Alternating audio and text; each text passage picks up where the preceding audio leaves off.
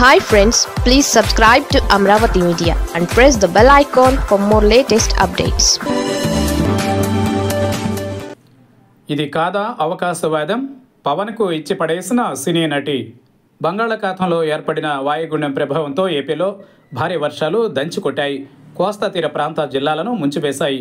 ప్రత్యేకించి రాజధాని అమరావతి సహా ఎన్టీఆర్ గుంటూరు జిల్లాలు తీవ్రంగా దెబ్బతిన్నాయి. ఎగువ పరీవాహక ప్రాంతాలలో కురిసిన వర్షాల వల్ల కృష్ణానది ఉగ్ర రూపాన్ని ధరించింది. వరద నీటితో పోటెత్తింది.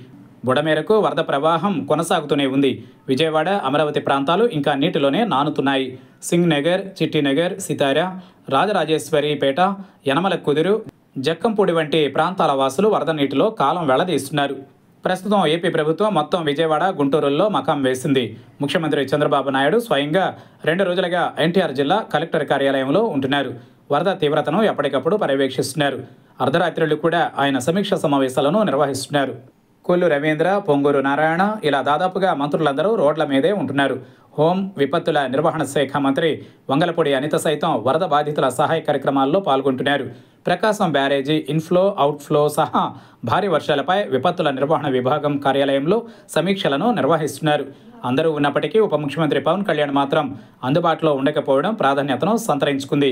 విజయవాడలో వరద సంభవించి మూడు రోజులు అవుతున్నప్పటికీ ఆయన జాడ కనిపించట్లేదు. సెప్టెంబర్ రెండవ తేదీ రాత్రి కొన్ని వరుస ట్వీట్లు పెట్టారంతే. పవన్ కళ్యాణ్ కనిపించకపోయిన ప్రస్తుత పరిస్థితులలో ప్రముఖ నటి పూనం కౌర్ తెర మీదకు వచ్చారు తన అధికారిక ఎక్స్ హ్యాండిల్లో ఘాటు కామెంట్స్ పెట్టారు.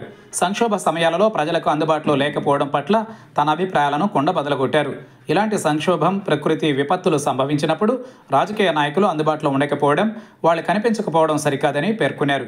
ఇది ఆ రాజకీయ నాయకుల పచ్చి అవకాశవాదానికి నిలువెత్తు స్వార్థానికి ప్రతీకగా అభివర్ణించారు.